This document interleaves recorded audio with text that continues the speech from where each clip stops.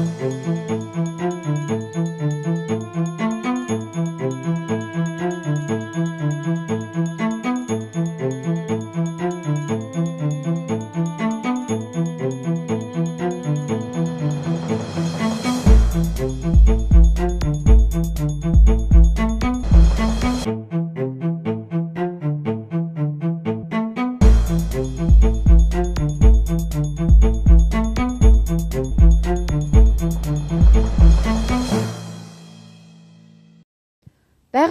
хамгаалагчдын эмгэнэлт хувь заяа буюу эрвэс хамгаалагчийн учир битүүлэг өхөл өнгө төрх нэвтрүүлэг энэ сэдвийг хөндөж байна.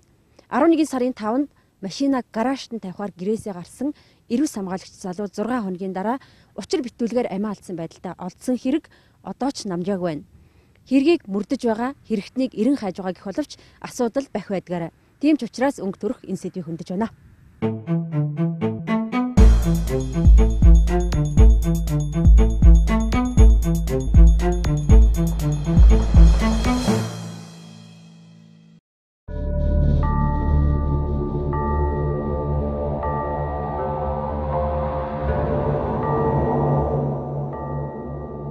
Түүний өхлийн шалтгааныг эхний байдлаар амиа хорлсон гэж тодорхойлсон нь өөрөө анхаарал татж байгаа юм.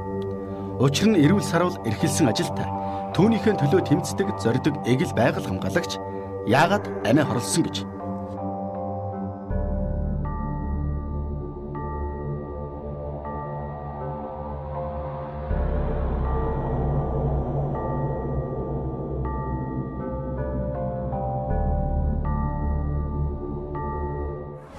шинжлэх ухааны зүтгэлтэн судлаач, биологч, тийм байгаль хамгаалагч ийм залуу яагаад ийм байдалд орох болчихвоо, яагаад ийм их дарамтанд орох болчихвоо гэдгийг бүр бодоол юм л да. Тэгэд бодоод хахад бол ер нь магадгүй тэр залуу маань тухайн үедээ байгаль орчин хамгаалж явж байхдаа янз бүрийн хүмүүстэй тулгарсан байхыг үүсгэхгүй. Тэр нэг амь насанд нь халдсан нэгэн үйлдэл юм аа л гэж ойлгож байна. Түүнийг амиа хорлоогүй гэж үзэх бас нэг шалтгаан бол түүний үлдээсэн баримт буюу дахиад халдлагад өртөх гээд байна гэсэн утга бүхий утасны бичлэг. Үүн дээр нэмээд бас нэгэн баримт нь өмнө нь 3-ын 3 удаа халдлагад өртөж байсан явдал юм. Эхнийх нь 2014 оны 5 дугаар сард Улаанбаатар хотод залуучууд жочд буудлын ойролцоо явж байхад нь үл таних дөрвөн залуу дайрч хоолойг нь боомлон гарлуу нь хотголжээ. Хоёр дахь удаад 2015 оны 1-р сард 5 дугаар сургуулийн ойролцоо явж байхад нь жип машинд хүчээр суулган авч явсан байна. Ингэхдээ түүнийг эзэнгүй газар аваачиж дарамтлан занал хийсэн гэх. Энэ үеэр түүнийг чи хөдөө байхдаа их том том ярьдаг бацаан байсан. Хөдөөд ч хотдож чи бидний гараас мултрахгүй шүү хэмээн сүрдүүлж байжээ. Ингэж шөнийн 2 хүртэл дарамтлуулсны дараа хөвсгөлд гэртээ очиж ээжийнхээ хажууд 14 хонсон байдаг гэж. 3 дахь нь 2015 оны 4 дугаар сарын 30-ны өдөр мотоциклтойгоо Өмнөгов аймгийн Тостын нуруунд судалгаа хийж явахад нь багтаа 2 хүн толгоорон цохиж 3 хотголсон байдаг. За энэ оролдлогууд нь бол одоо ерөөсөө аль аль нь өхөл өхөх гэсэн л одоо ийм оролдлого байсан да. Тэгээд одоо яг яг жинхэнэ алуурчин шиг л духан дээр нэрэ сум зоочиг бол орхисон юм байна. Түүнээс ш бас л амь насанд нь халдсан үйлдэлүүд байсан гэж ойлгож байгаа. Лавьтай хүмүүс лавьрлаа гэж хэлээл тэр машинаасаа уусан байдаг байхгүй. Тэгээд өөр ч юм гараагүй байхгүй. Тэгээд тэр одоо ямар лавьтай хүмүүс юу хүмүүс очсон байсан юм уу? Эсвэл одоо зохион байгуулалтад тэнд бэлдсэн байсан юм уу? Эсвэл үнэхээр лавьтай хүн тэнд дотор явж ирсэн юм уу? Одоо тэгэл тэгэл бүх юм чимээг болсон байдаг байхгүй алга бол. Утсан дээр нь яг тэр утсаа бичээд машин дотор хайцсан байгаа байхгүй тэр нууцаар бичсэн юм уу? Утсан дээр даалд байсан л да яахан даалд тэр нууц руу гэх юм уу тэр үнцэн суудлын асраар унтсан байсан л да. Анх олоход бол тэгэхээр тэр утсанд нь тийм чимээ хураагдсан байдаг байхгүй. Тэгэхээр одоо нэг л юм байна гэж бодоод байгаа юм л да. Уг нь түүний ингэж удаадараа халдлагад өртөж байсныг тухай бүрдэн цагдаагийн газар төргүүлж байсан ч өнөөдрийн хүртэл эрэв үүсгэх бүрэлдэхүүнгүй гэх шалтгаанаар үл тоомсорлож ирсэн байдаг. Тэрж байтугай түүнийг хамгаалалтанд авах асуудлыг эрбис хамгаалах сангаас тавьж байсан ч мөн л гэмтэргийн бүрэлдэхүүнгүй гэж үзээд хэрэгсэхгүй болгож байжээ. Энэ хамгийн хачирхалтай хачирхалтай энэ энэ өмнөх бүх хэргийн цагдаа нар баг өөрөө байж магадгүй гэдэг байдлаар шалгаж манай хүүгүүд айсж байсан байгаа байхгүй. Хамгийн хачирхалтай. Хэрэг биш байна эсвэл одоо хэрэгсэхгүй болгох гэдэг юм уу? Одоо юу гэдгүүлээ гэсэн эрүүгийн хэрэгүүлсээр татгалзах гэдэг үү. Тийм бичгнүүд явуулсан байдаг байхгүй. Тэгээд юу боддгийг бүхэл бүтэн хүн өмнө машинтай хүн барьцаад аваа явуулсан юм чинь. Эрүүгийн хэрэг биш байх. Байж яад юм лээ. Тэгээд хууль хяналтын байгууллагад бол хандхад бол цааш нэг үнзгэрүүлэн судлахгүй одоо чи арай өөрөө өөрийгөө одоо хорлоод байгаа юм биш үсттэй чамаас эхэлж шалгана гэсэн ийм асуудал тавигдаад сунжираад байсан учраас за тэгвэл гомдлоо авъя гэд гомдлоо одоо татчихсан ийм явдал байдаг. Бас өмнө 3 удаа халдлагад өртсөн гэж намдын сургуулийн хэллээ. А энэ тохиолдол болгонд бид нар урьдчилан сэргийлэх одоо ямар нэгэн арга хэмжээ авч өгөх талаар манай байгууллагаас бол тэр цагдаагийн газрууд нь хүсэлтээ явуулж байсан.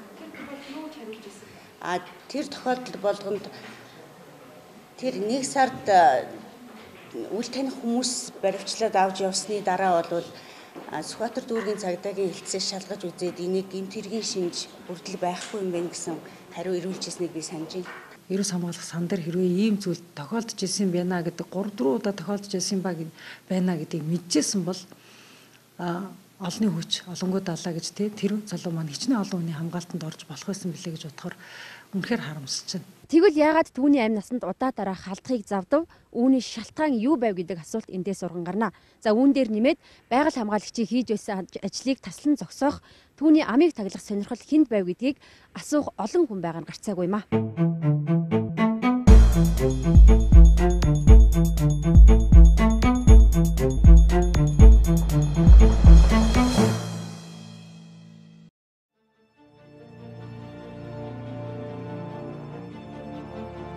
Тэрээр цоохор ирвс болоод цоохор ирвсийн үндсэн идэж болох янгрийн судалгааг Монголд анх удаа хос ажиглагчийн аргаар амжилттай эхлүүлж олон улсын нэр хүнд бүхий сэтгүүлд судалгааны бүтээлүүдэд хэвлэл байсан. Ингэхдээ Өмнөгов аймгийн 3 дэсмэн дах Тосон бомбын нуруунд түшиглэн ажилдаг байж. Тосон бомбын нуруу бол цоохор ирвс янгрийн адилных нь өлгийн нутаг төдийгүй. Гадан дотны хөрөнгөтнүүдийн газар ухаж хөлжгсдийн нүдний хорг үйсэн уул юм.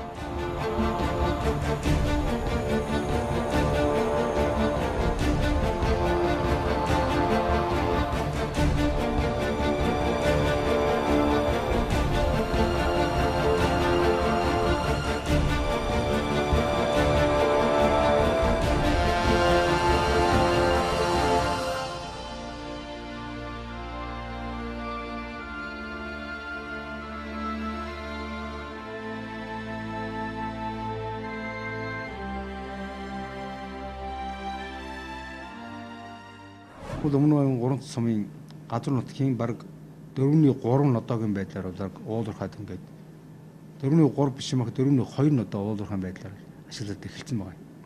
Тэгээд ингээд ирэхээр одоогийн хамгийн одоо өртгөдөөгүй үлдсэн хамгийн баруун талын хэсэг нь тос тосон мөмөнд нуруу баг.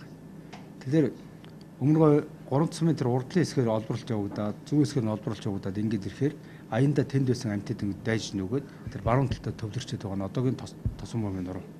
Тэр тос тосон бомбын нуруу юугаар өвөрсөн гэхээр хамгийн гол нь Төв аймаг Төв Азийн цөл гэдэг нь чухал байна. Төв Азийн цөл тэр дотор одоо тэр алшаа цөлийн тойрог гэдэг нь бол бүхэлдээ тэр орчинд байгаа амьтан ургуулын нөөц нь дэлхийн бусад оронд байдаггүй.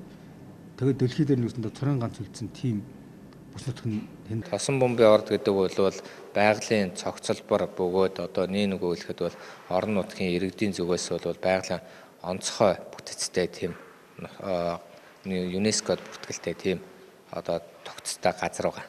Тэгэхээр энд бол ирвэс болон янз ангир гэдэг төрөл бүрийн ан амьтад бол байдаг. Харамсалтай нь засгийн газрын мулгуй шийдвэрээр 21 компанид лиценз олгосноос болоод нүүрсний одоо лицензээр тэр газрыг бол сэнтчин үгүй хийж байгаа. Энэ байдлаас нь болоод нутгийн иргэдийн зүгээс 1059 иргэнээс бидэнд аль бисээр өргөдлөөр өссөн. Тэгээ энэ өргөдлийн судалж үзэхээр бол заавал энийг бол тусгай хэрэгцээнд заавал авах хэрэгтэй мэл. Ингийн төрөнд төрж байгаа одоо сэжиг бүхий асуулт гэх юм бол тосон бомбын нуруу ирвсний нүүдэл, ирвсний бэлчээр нутгийн талаар энэ талигаач маань ямар судалгаа хийсэн байсан бэ? Тэр хүний ямар судалгаа хинт гайвуулж исэн бэ гэдэг тэр бид нар бас анхаарал тавих шаардлагатай болов гэж бодож байна. Гэвч тэнд амьдардаг амьтдаа бас хөө уулаа хамгаалахаар зорьсон байгаль хамгаалагч залуу өнөөдөр яагаад учир битүүлэг амиа алдсан шалтгааныг эндээс төвөггүйхэн ойлгож болох.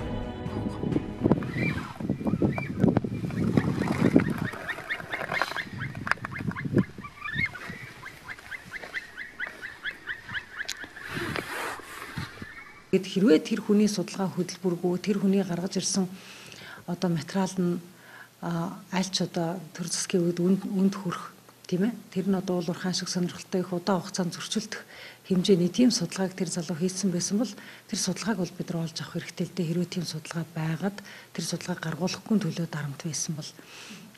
Тэгэхээр би бол энэ зөвхөн одоо миний таамаг хувийн таамаг. А гэхдээ дэлхийд бол ийм зүйл байсан уу гэвэл байсан ер нь бол одоо шууны талаар гихтэл судалгаа хийгээд шууны нүүдлийг тодорхойлоод одоо энэ шуунуудын устдах аюултай энэ энэ цэгүүд дээр өөр үйлдвэрлэл явуулж болохгүй гэдэг судалгаа хийснийхээ төлөө одоо шувуу судлаач нар дарамтанд орж исэн ийм түүхүүд бол бус тус орнуудад байдаг. За болох хүн хүн зэрлэг араатны хоорондын зөрчлийг зөөдрүүлэх шинэлэг хөтөлбөрүүдийг амжилттай явуулж байсан. Одоо байгаль орныхон төлөө, байгаль орчныхон төлөө чин үн сэтгэлтэй ийм жирийн нэгний Монгол залуу байсан. Тэгээд түүний одоо явуулж ирсэн маш олон ажлуудыг одоогийн байдлаар төр зогсолтонд байна гэсэн хэдий ч одоо манай байгууллагын хамт олон мэрэгчлэн нэгт нөхдүүд нь одоо үйлсийг нь мөнхөлж хийж байгаа ажлыг нь цааш нь үргэлжлүүлж явуулах болно. Ямар эрх мэдэлтэй хүн биш, хөрөнгөтэй хүн биш, өөр энэ төр хүнд одоо гаа тарих хүн биш. Зүгээр мөрөөр ажиллаа хийгээл тэнд уул хадаа трентент хамгаалаад ингээл гүйж явахт нь ер нь энэ хүүхдийн бол дуурч байсан бол уул уурхын төлөө энэ байгаа нинжанахтай шалгаагүй компанитай шалгаагүй дуурч ирсэн байлээ. Зоригтой дуурч ирсэн байлээ. Тийм баримтууд байгаа. Зоригт тэмцэж байсан. Зоригт хэлж байсан, шаардаж байсан. Ганцаардахгүй. Аа тэгээд дээр нь тэнд гарсан бүх бол ам би хайргүй гарч ирсэн мэт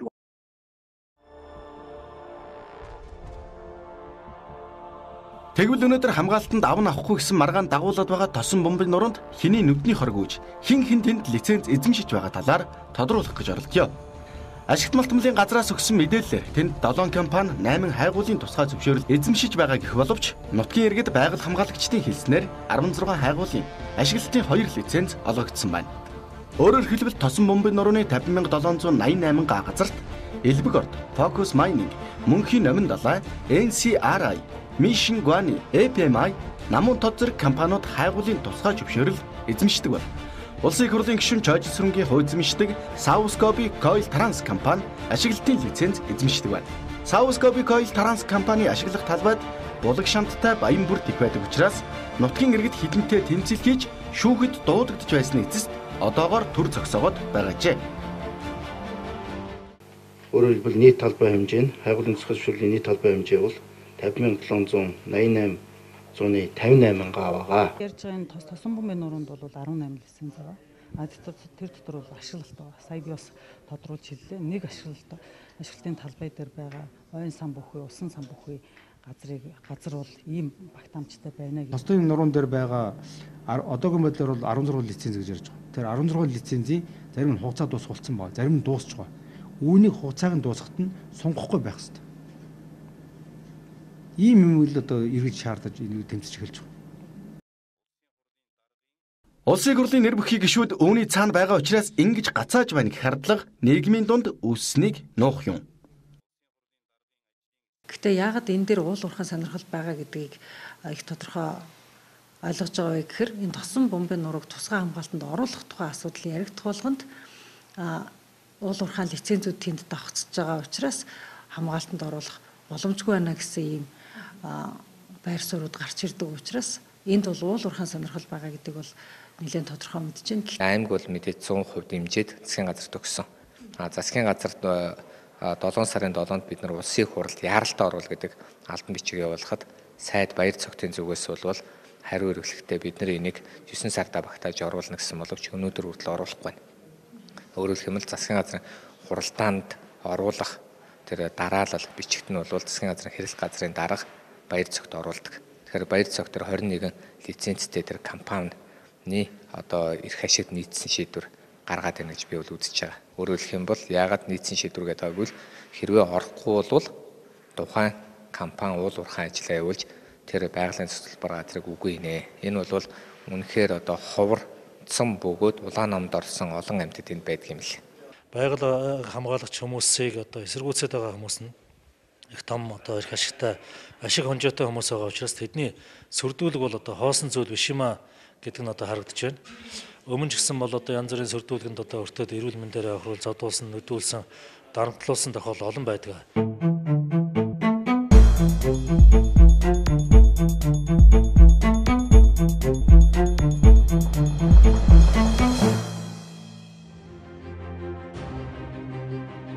Гэвч тэр нэр нөлөө бүхий хуваа хичээгчд амиа хоохоологчдын үйлдэлээс болж нэгэн эх оронч ирээдүйн эрдэмтэн энэ хорвоог орхио зогсохгүй. Тентхийн ховор ан амьтад устгад тулж тэр нутагт хэдэн зуун жил үе үлрэн амьдарч ирсэн нутгийн иргэд оршин тогтнох амьдрах газар нутаггүй болохдоо тулж байна.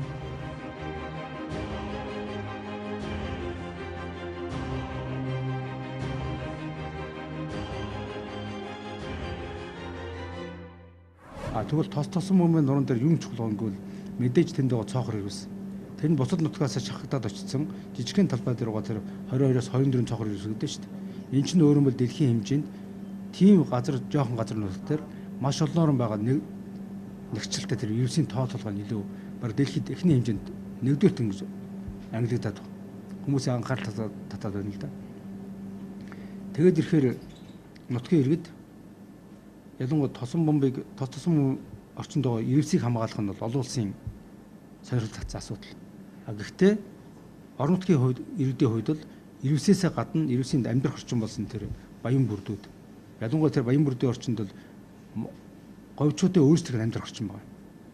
Тэр тосон бомбын нуруунаас буусан эртээр үс одоо мөсөн мөсөлтийн үеэс үүссэн гол ойрхнууд тэгээ одоо ширгэд алга болсон болов одоо бол ширгээ алгуулсан боловч хөрсөн дугаар төрч маш хэмжээний цэвэрсний нөөцөд байгаа шүү дээ. Тэр дагуу үүссэн тэр булаг шандуудыг хамгаалахын тулд нутгийн эрдэнэ илүү тэр ерөөсийнхэнтэй хамтраад тэмцээн явуулж байгаа нэг болж байгаа. А ер нь бол энийг хамгаалахын тулд олон талаар одоо нутгийн иргэд дээс нь шинэ ухааны байгууллагууд олон удаа байгуулж ирсэн яаман дээр санд хөргүүлж байсан, дүгнэлтэд хөргүүлж байсан гэсэн хэдийлч өнөөт энэ улс орны эдийн засгууд хүндэрсэн шалтгаанаар одоо бүр эрчимчлэж байна. Уул уурхайн хайгуулын лицензийг олох явдал. Тэнд ажиллаж байгаа амьдарч байгаа малчдын талаар тэр нүүдэл суудлыг хаана хийх үү? Нөгөө малчин маань хаашаа сэлгэж малаа одоо бэлчээрлүүлэх үү? Малын бэлчээрг болчиход байгаа ийм байдлыг төр зэсэг давхар шийдэж байгаа учраас гэдэг энэ саналыг бол энд тавьж байгаа юм л да.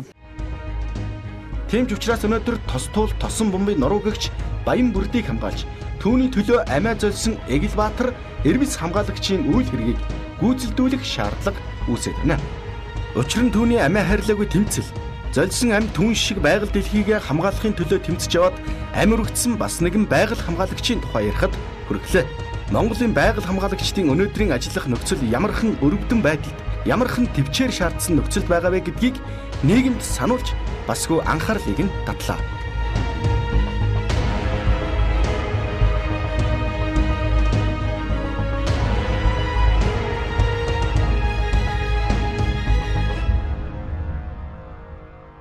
Тэгээд ийм одоо экологийн төлөө тэмцэж байгаа залуучуудын нэг л одоо ингээд алагдчихж байгаа байхгүй? Алагдцал гэж бид нэр үзэж байгаа. Тийм учраас бол тэр залуугийн одоо өхлийн шалтгааныг олохын тулд бол бид нэр цагдаа тагнуул одоо хүчний байгууллага ингэж эхнээс нь ингэж удаан назгаа ажиллаж байгаа тохиолдол бол бид нэр бас олон улсын байгууллагууд олон улсын одоо хувийн мөрдөх төвчөнд чанд бид нэр. Ойн цагдаа гэдэг нэрийг авч хайснаас болоод бүх юм сулруулсан юм. Энийг маш олон удаа хэлсэн байгаль орчны яамд хүртэл бид нэр хуулиндаа оруулж өгөөч гэдэг хүсэлтэд тавьсан. Энэ дээр хариу өгдөггүй. Байгаль орчныхон дээр нь сануулга өгч байгаа юм болов. Та нарыг одоо өмгөөл хамгаалах юм байхгүй. Та нар ганцаараа шүү гэж ойлгуулад байна да. За үүнээс одоо үзэхэд төр засгийнхан бол одоо энэ байгаль орчноо хамгаалж байгаа хүмүүсийн одоо аюулгүй байдалд анхаарах цаг болсон байна. За уг нь энэ хэргийг үнэн боддоор шалгаж илрүүлэхийг зарим улсын хурлын гишүүд төрийн бас байгууллагууд гадна дотны байгууллага олон нийт шаардж уриалж байгаа. За гэвч миний нэвтрүүлгийнхээ эхэнд хэлсэнчлэн хэрэг гараад сар гаруй хугацаа өнгөрсөн ч хэрэгтэй холбогдуулж хин нэг нэг саатуулж шалгасангүй хэрэг ямар шатандаа явж байгааг ч мэдээлсэнгүй. За энэ нь улс төрийн нэрс зүтгэлтэн зоргийн хэрэг шиг далдлагдаад замхраад өнгөрөхийг гэсэн болгоомжлол битүүхэн айцыг нийгэм төрүүлээд байгаа юм а. За тийм ч учраас Монголд шудраг шүүхээ бай гэхэд шударгаар ажилдаг хувийн шүүхийн албан хаагчид байгаа бол энэ хэргийн үнэн мөнийг олж тогтоогоосэй гэсэн олон нийтийн хүслээр энэ хүн нэвтрүүлгээ өндөрлөж байна. Зоргийн хэрэг шиг болох вэ? Тэгээд энэ сүүлдээ улс төржилтийн одоо бай болоод шав болоод өнгөрөхийг санаа зовж байна.